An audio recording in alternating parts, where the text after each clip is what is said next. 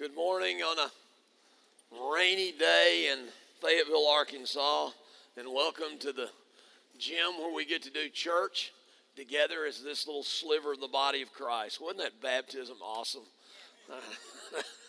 That'll preach. Uh, today's story is from 2 Samuel chapter 9. If you have a Bible or Bible app, you want to turn there and start kind of reading ahead, you can. It's a really cool kind of standalone story, but in order to understand the story, we've got to go back, and I'm going to lay a foundation for it. I'll just go ahead and tell you it's about David. Uh, we finally got David on the throne. Those of you that have been following us through 1 Samuel, we've been moving really fast through 1 Samuel and 2 Samuel. It's been a challenge to preach 10 sat- chapters of 1 Samuel, like I did two weeks ago, but fortunately, I don't have to do that today. And, and David's on the throne now, and uh, he's kind of fought off the Philistines. He's kind of fought off the remnants of Saul's family, and he's established his kingdom. And he wants to show, and the Hebrew word is hesed. It's the Old Testament word for grace. He wants to show extreme kindness and gracious generosity to some descendant of Saul that's left. And so he finds Jonathan, his old best friend who's dead now, he finds his disabled son, Mephibosheth. I'll probably blow that a few times. Uh, his name literally means broken shame. We'll look at why in just a few minutes. It, it, could be a name that was given him. It was certainly not his birth name. It was given later in life. Could have been even attributed by the writers, meaning that his shame was broken. More likely, it refers to his brokenness physically as being shameful because that was a cultural thing back then. But in any event, David invites Mephibosheth to feast daily with him at his table. He adopts him like a son. And he bestows blessing and honor and privilege on him the rest of his life.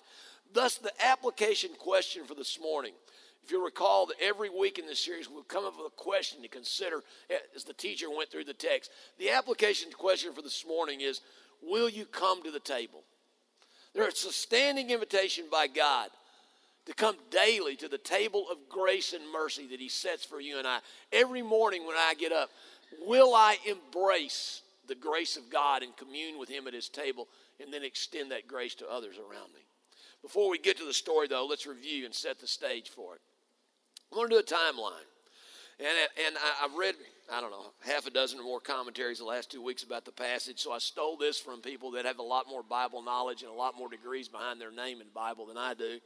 And, and admittedly, no one knows for sure exactly the date that these things happened, but this is real close. So let's assign the date 1100 BC, maybe about 1090 BC to be a little more accurate, to the birth of Samuel. That's where we started with the story.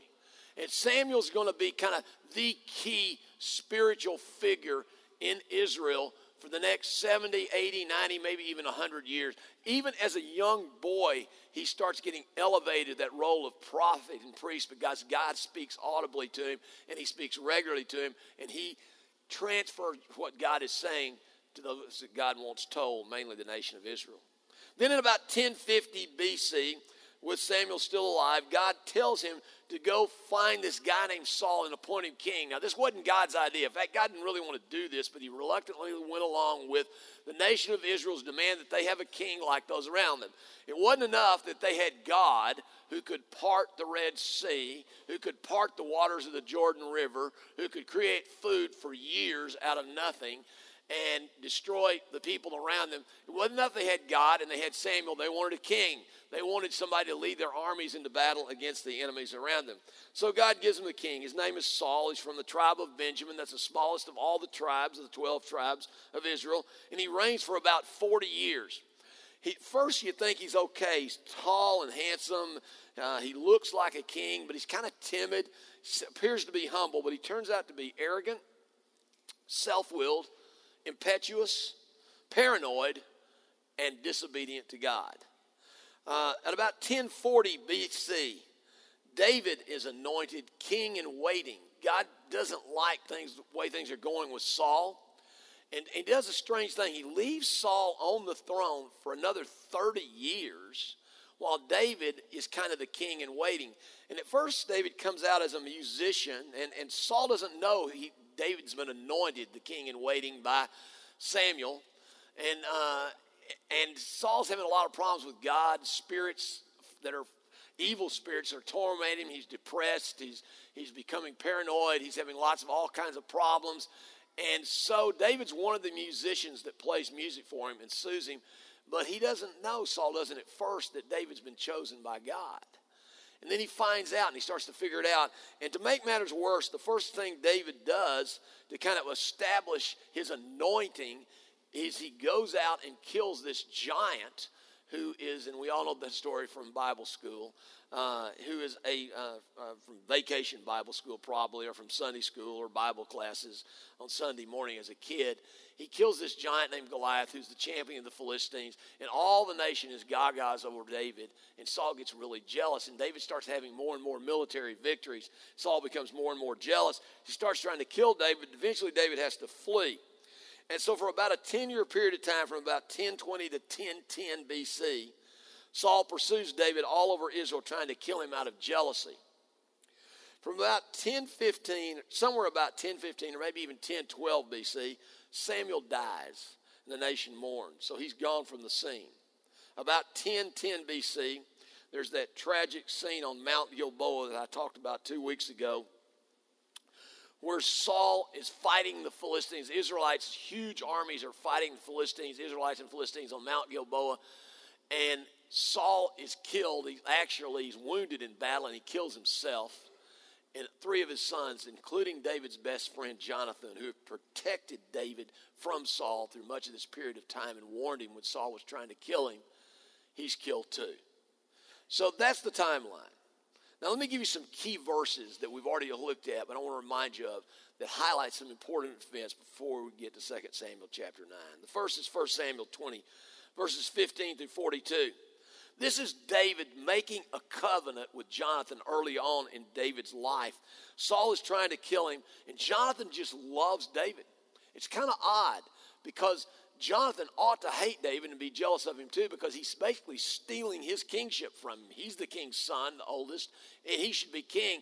But he loves David and he knows God's anointings on him. So they bond together as best friends and they make this covenant with one another. And Jonathan seems to know, even early on, that David's going to outlive him. And he says basically, when I'm dead and gone, because of this kindness I'm going to show you, because I'm going to save you from my father over and over and over, I want you to show the same kind of kindness to my descendants after I'm dead and gone. And basically, they covenant together. Next passage of scripture, 2 Samuel 3 1.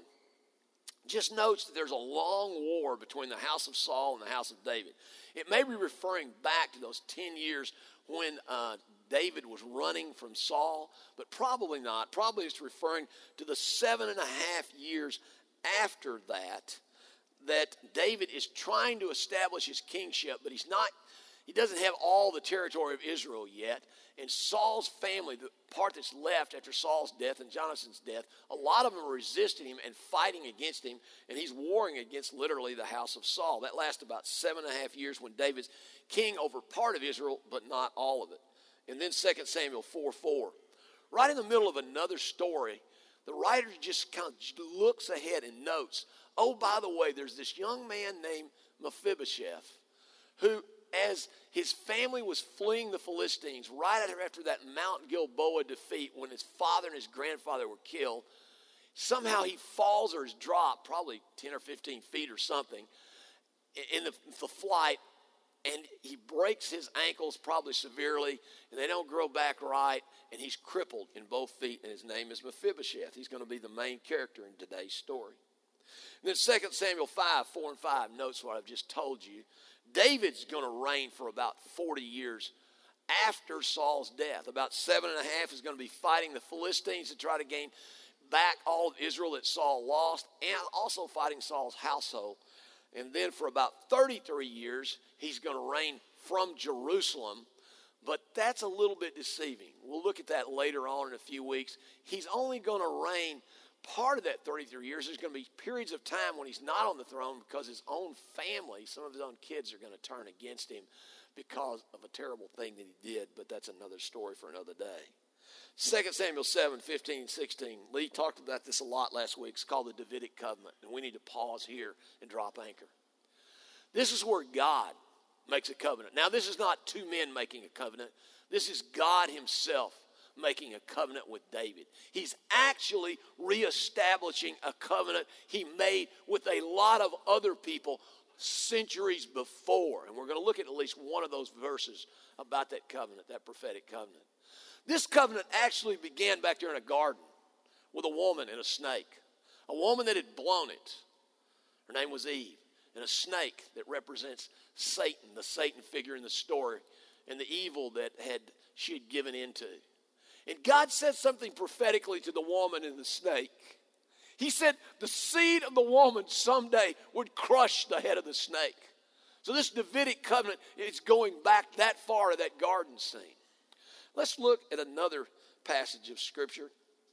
Let me just say that, that the specific Davidic covenant is God saying to David that he, one of his descendants would be on the throne forever, not just of Israel, but he would rule all the nations. Let's go back several hundred years and drop in on a story. Somewhere between the garden and 1000 BC, there's another story I want to share with you. It's Genesis chapter 49, verse 10. An old man, a famous old man, a famous Bible character by the name of Jacob. He's dying.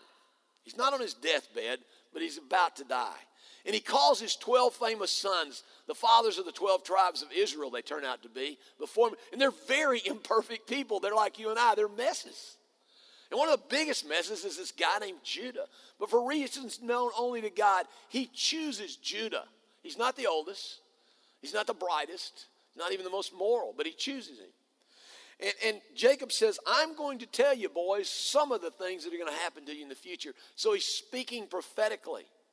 Again, we took looked at the Davidic covenant. Now we're going back to see the roots of the Davidic covenant. And this is what Jacob says to his son Judah. And by the way, David is a descendant of Judah. He says, The scepter will not depart from Judah, meaning the king's scepter, nor the ruler's staff from between his feet until it comes to the one it ultimately belongs to. Well, who does it belong to? Who has the right to rule planet Earth? The Creator Himself. And God assigned it to His Son, His one and only Son, the second person of the divine Trinity, Jesus Christ. And this is speaking prophetically, looking forward to the day that a descendant of Judah. Why is Jesus a descendant of Judah? because Son of Man was his title, his favorite title. Then the man part of him, not the God part of him, is in the lineage of David, who's in the lineage of Judah. He says, This right to rule will come to whom it belongs, and the obedience, not just of Israel, but of all the nations, will be his. And let's jump forward now and go past 1000 BC and jump to about 700 BC. And see how the Bible ties together prophetically? And, and, and, there's another guy by the name of Daniel. Remember him? He, he in the lion's den, and he's the one that has all the dreams and visions. And a lot of his writings dovetail with visions another guy has. Are you hanging, staying with me? In the first century, his name is John. In the book of Daniel, the book of Revelation, sometimes there's mirror images of the same thing. John will see the same thing in a vision that Daniel saw years before. Maybe it'll have more context to it.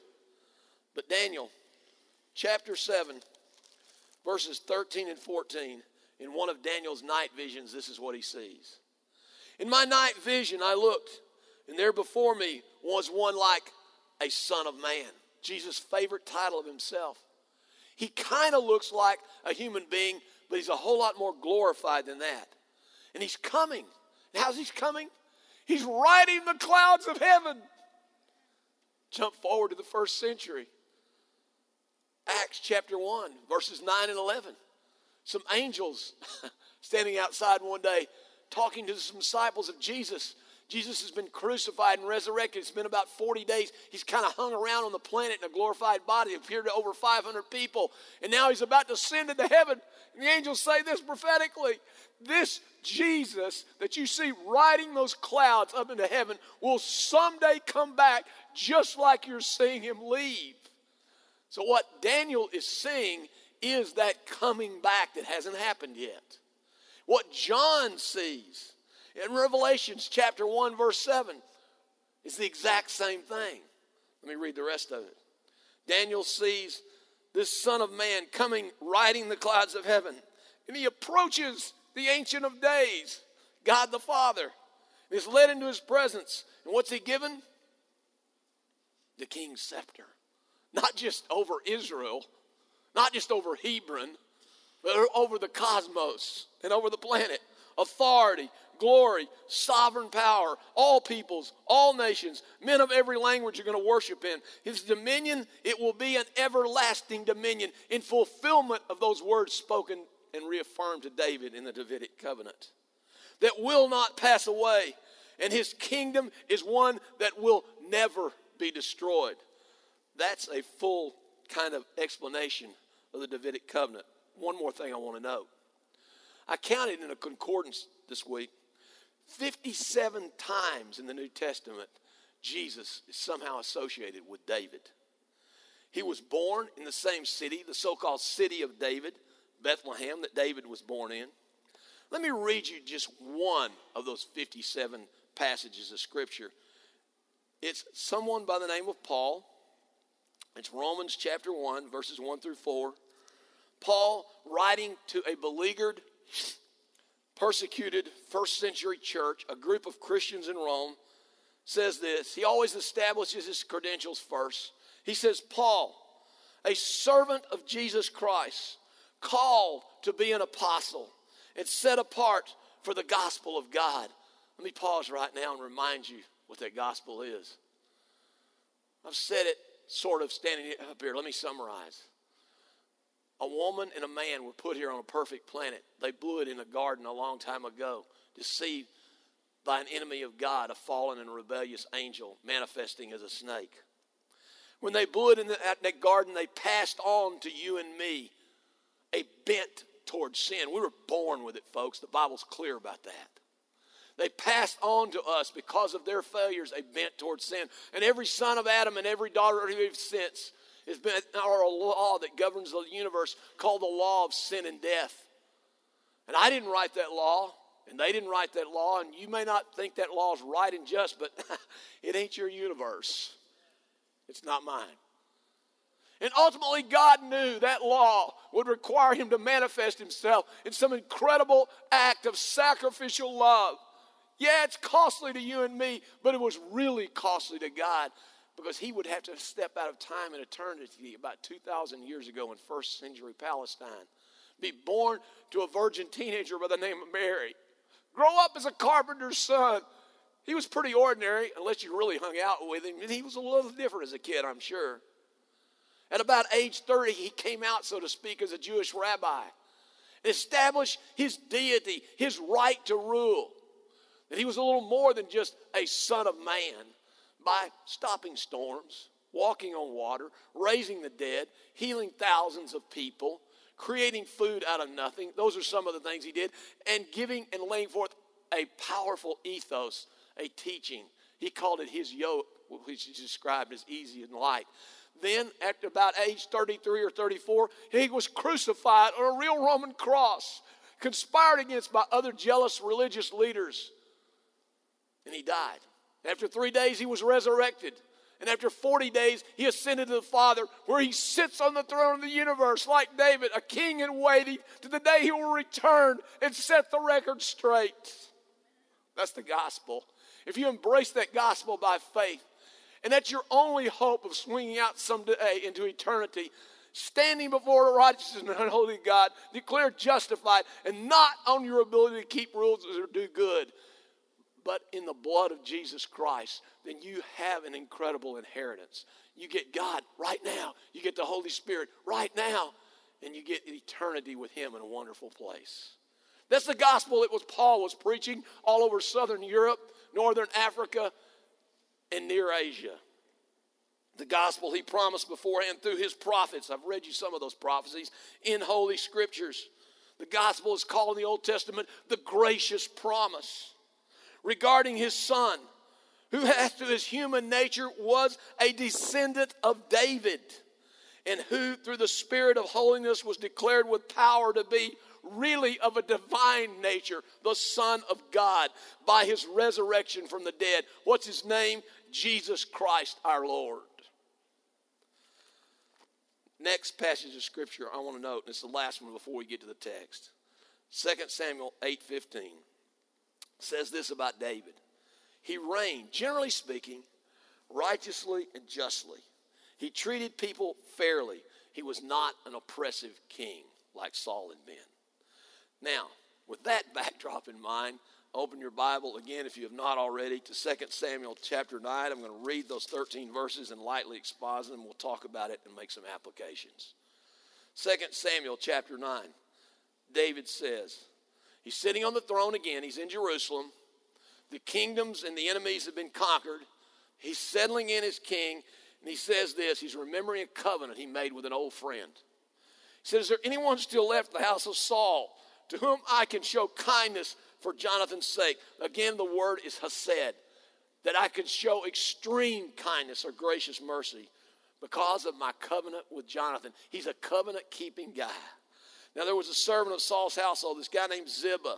He says, Go get Ziba. Are you Ziba? I am. Your servant, he replies. He's an interesting character. He'll reappear in the story later. The king says, Is there no one still left in the house of Saul to whom I can show? Now he describes this words said a little differently God's kindness, God's gracious favor, that I can bestow blessing on like God does.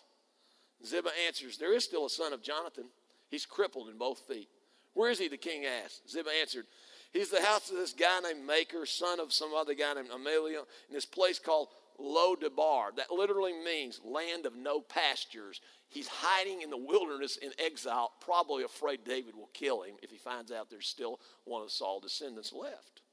Verse 5 King David had him brought from Lo-debar, from the house of Makir, son of Amiel. And when, when, when Mephibosheth, son of Jonathan, the son of Saul, really the grandson of Saul, came to David, he bowed down to pay him honor. And David said, Mephibosheth, your servant, he replied, Don't be afraid. This kid's probably terrified. David said to him, For I will surely show you, I said, for the sake of your father Jonathan, let me spell out for you what I'm going to do to you and for you. First of all, I'm going to give you all of your grandfather's lands. That's a lot, folks. That's all of Saul's properties. He's taken them. He says, I'm going to give them to you. And furthermore, you're going to always eat at my table. I'm going to have fellowship with you like you're one of my own sons. Mephibosheth bowed down and said, What is your servant that you should notice a dead dog like me? Now, he's got low self esteem, I know, and you want to send him to counseling and all that stuff. But the point this is a theological term, it has rich theological meaning. We'll look at it in just a few minutes. Then the king summoned Ziba, Saul's servant, said to him, Okay, I just gave all your master's grandson everything that belonged to Saul and his family. I'm bestowing extreme blessings on him, and I want you and all your sons, he's got a whole bunch of them apparently, and all your servants, he's probably pretty wealthy, Ziba is. I want you guys to farm the land for him and take care of. And I'm sure Ziba got paid well. Then Ziba said to the king, Whatever you want me to do, I'll do.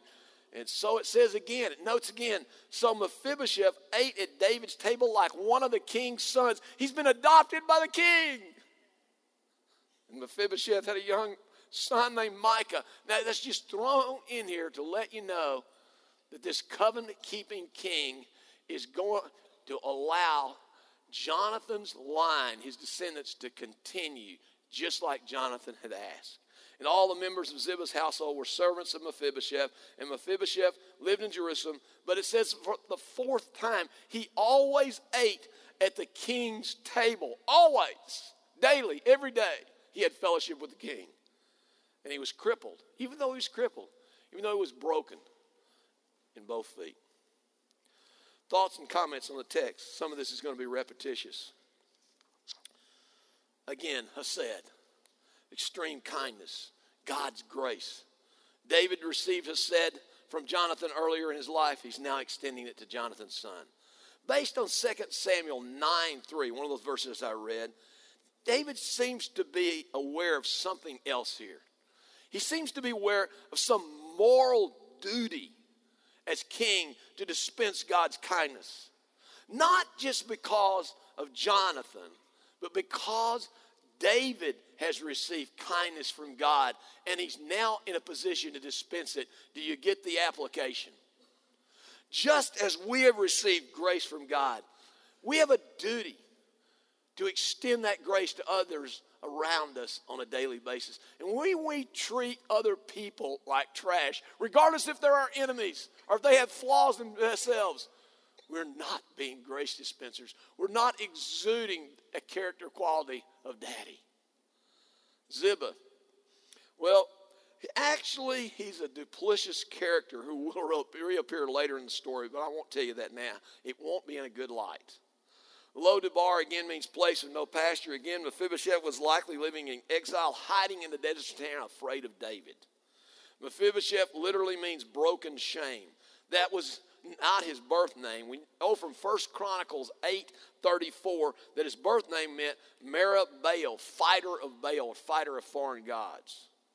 People that were disabled in that time were considered a burden, and even today, in many cultures, disability is associated with shame. Mephibosheth, Mephibosheth's reference to himself as a dead dog reflects that view. But again, the term has deep theological and allegorical meanings I'll go into later. The cultural response in David's day would have been for the new king that took the throne by force to kill all of the descendants, even if they didn't oppose him, of the old king, all the males at least. God had previously allowed David to take Saul's lands. We learned that in another chapter, 2 Samuel 12 8. That's why he's able to give them back to Mephibosheth. The phrase eat at my table again appears four times in the chapter, verses 7, 10, 11, and 13. That is the theme of the text. That is the question for the morning. Will you come to the table again? There's a standing invitation by God to come and have fellowship with Him daily and to feed our souls with what brings life. Next thing I note, this whole war between the house of Saul from the tribe of Benjamin and the house of David from the tribe of Judah was all about establishing a dynasty, a succession of rulers from one family line. When David tells Mephibosheth in verse 7, do not fear. You need to know if you hadn't figured it out already. That's one of the most common promises given in the Bible, or commands in the Bible, is do not fear. It often precedes an incredible promise, like Joshua 1 9, that I will be with you. Don't be afraid, Joshua. I will be with you wherever you go. Let me read to you. It, it appears over and over and over. One of the times it appears because it relates to the story this morning. It's a very famous passage of scripture. It's actually a passage of scripture I memorized when I was four years old. It's Luke chapter 2. It's the Christmas story. And this is an angel that appears to a group of shepherds outside the city of David, where Jesus Christ was born and David had been born, Bethlehem. And they're keeping the sheep by night, as the story goes. And now this angel already has several thousand other angels probably with him. So these shepherds are like freaked out. That would be pretty common to say to them, don't be afraid, guys. The angel said to them, Do not be afraid. Luke chapter 2, verse 10. I bring you incredible news. News of great joy. that ought to make you jump up and down and shout. The Messiah has been born. He's been born in David's city, in the town of David. A Savior has been born to you. And He is Christ the Lord. One of the times that do not be afraid appears later on in the story. It's a gospel allegory. The story that I've just read to you is a whole lot more than just a story about David being graciously kind to a disabled young man because his deceased father helped him earlier in life. Like many stories in the Old Testament, it points forward to future events. It is a prophetic foreshadowing, if you will, a real life prophetic allegory a gospel allegory.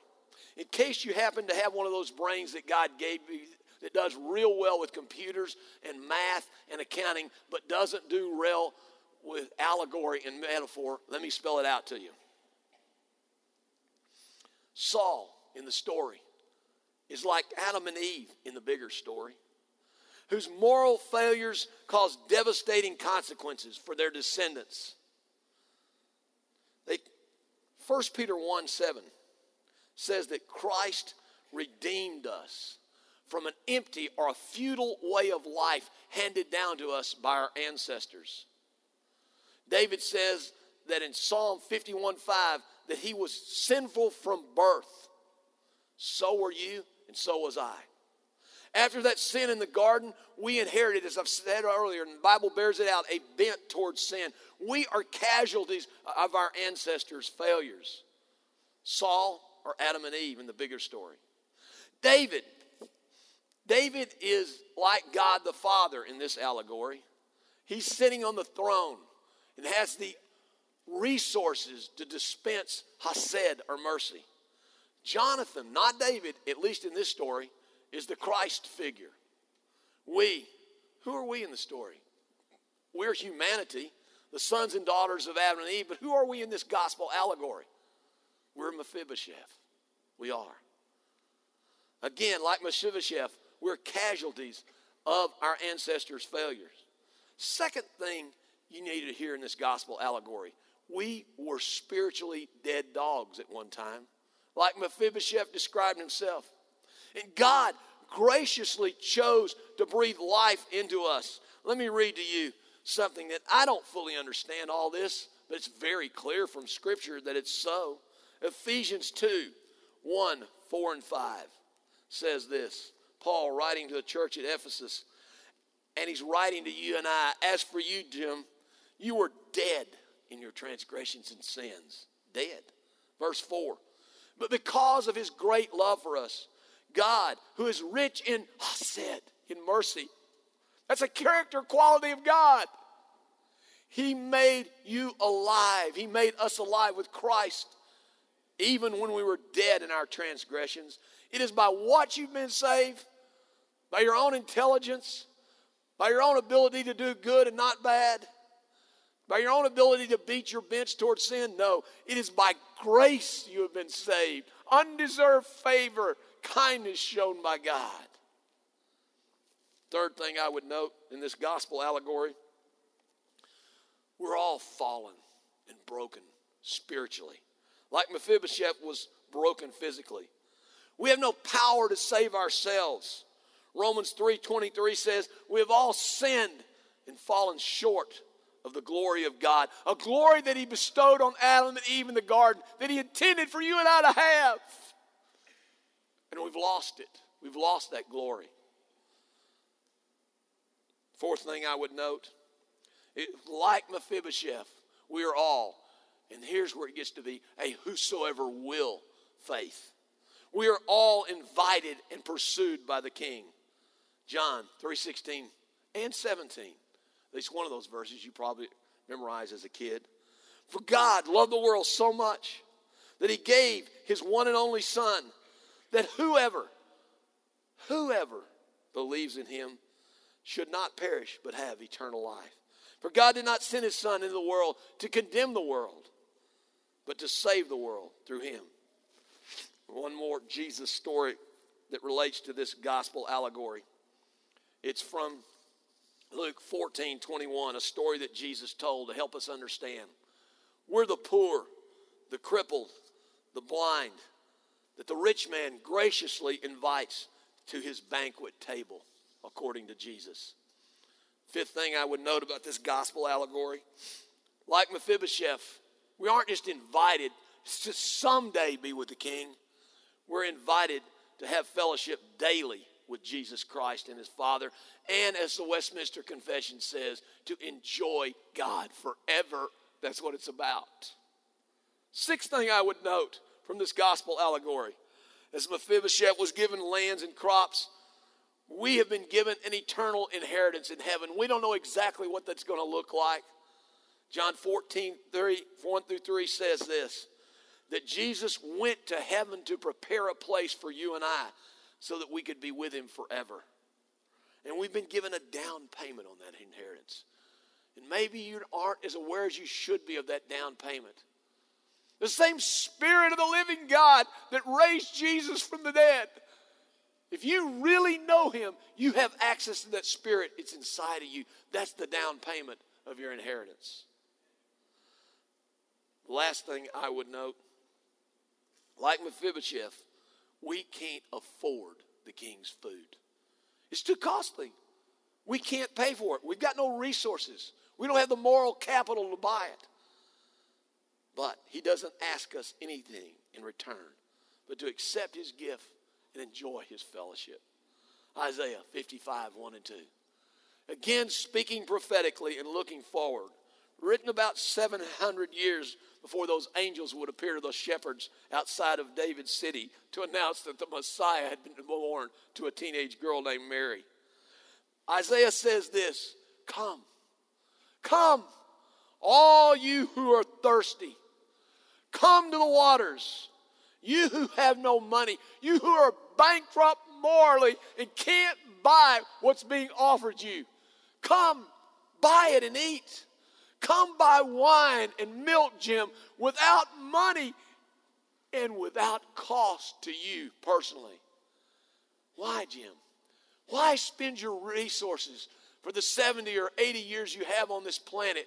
Why spend your time, talents, possessions, and influence? Why do you waste them on things that have no eternal significance? things that will never satisfy you. That's verse 2. So why spend your resources on what does not satisfy? Isaiah says, Listen, listen to me and eat what is good, what is eternal, what has eternal significance. And then, Jim, as Jesus said when he was asked by the disciples one day at a well, why, don't you, why aren't you hungry? He said, I have food to eat that you know not of. This is the food he was talking about fellowship with the king. He said, Your soul, Jim, will then delight in the richest of fare. That literally means extremely expensive food. How expensive? This grace was bought with the most precious gift in all the universe. It was bought with the blood of Jesus Christ, God's own blood, paid for you and me, and gave us the right and the privilege to sit at His table daily and feast on His grace and mercy. That was written about 2,700 years ago by a prophet by the name of Isaiah. Conclusions and applications. It's kind of a spiritual duh, isn't it? Have you accepted God's invitation to the banquet? To have food, drink, and fellowship with the king. It's not a one time thing. Like Lee said last week again, it's a whole lot more exciting than winning the lottery. It is. Think about it eternal life in a wonderful place with a wonderful God forever. And not only that, fellowship with Him daily, even while living in the midst of this broken and sin cursed planet. The question again is will you come to the table? Will you come to the table? Now, if you've never admitted your brokenness, the culture tells us you're not broken. Baloney, you're broken. You're messed up. You're a mess. I know most of you. And you know me, and I'm a mess too. We're broken people. We're sinners in need of a Savior. As unpopular as it is to say that. Have you accepted God's invitation to come to the table, to the party through Jesus? You can do it today again the gospel of Jesus Christ. With the risk of being extremely redundant, 2,000 years ago, God came to the planet disguised as Mary's baby boy, lived a perfect sinless life, and about age 33, offered himself up as a sin sacrifice for you and me. And if we embrace that truth by faith, then we get these things that I've talked about now for about 35 minutes. And we get to come to the table and we get fellowship with God the gospel of Jesus Christ. He asks you to make a public statement if you've never done it of your acceptance by confessing Him publicly and by being baptized, as the young lady did. I think I can pronounce her name, Lourdes, a few minutes ago so eloquently as she demonstrated her faith. And you can do that this morning if you've never done it or if you want to do it again. Demonstrate your faith by coming and being baptized. We do that spontaneously. Lots of folks have at New Heights Church. Just see a member of their prayer team. If you've already accepted his invitation, the invitation still stands on a daily basis. Are you feasting on the grace of God? communing with him daily. Again, will you come to the table? Mephibosheth never loses his deep appreciation for what the king had done for him. Late in his life, when he's very old, he says this 2 Samuel 19 28. He says, All of my grandfather's descendants and all of yours deserve nothing but death from my Lord the king. But you gave your servant a place among those who eat at your table. What deep, rich theological statement that is. Someday Jesus is going to completely fulfill the rest of that gracious promise and those prophetic utterances. And he's going to sit literally on David's throne, and we'll see him visibly. He says this the last chapter of the Bible, Revelation chapter 22, verse 16. This is what Jesus says in one of those visions to his son, to his friend John. He says, I am the root and the offspring of David. What does that mean? The root means he's the source of David's life. He existed before David. All life comes from him. I'm the root of David. And not only that, I'm son of man as well as son of God. I'm the offspring of David. He said, I'm the bright and the morning star. The way John described him as the light of the world. And then he goes on to say, I'm coming back soon. I'm coming back soon. Riding those clouds, those angels saw him ascend to heaven in. Someday he's coming. He's going to split the eastern sky. He's going to come riding in. He's going to come riding in slowly because all the world, it says in Revelation, he'll have time to note his coming, looking to claim as his own all who have accepted his invitation to the party. There's a line from a Christian song from a few years back. It's kind of artistic, but it captures the thought of this idea of the king inviting us to his table. It goes like this. Just think of Jesus saying this to you. Jim, you bring all your history, all your junk. You bring all your history, and I'll bring the bread and the wine. And we'll have ourselves a party. And all the drinks are on me. And as surely as the rising sun, you will be set free. That's the gospel according to the Bible in 2 Samuel chapter 9. We're going to do this morning what Christians have been doing for years. We're going to offer communion. We do it as the first century church did every Sunday to remember his death until he comes back, his sacrificial and atoning death. It's available around the room. Take it with someone if you can. We have a baptistry set up here. Again, I invite you to be baptized if you have not been or you want to be this morning. We can do that right now. And then there's the prayer team. Prayer team, come on up. They're available around the room to pray for you. If you want prayer for any reason, or if the Spirit's telling you to go pray for someone that's a total stranger, go do it. This is a ministry time, it's for you. And there, we're going to have another opportunity right now to stand and engage this soon coming King in worship. Let's take that opportunity worship.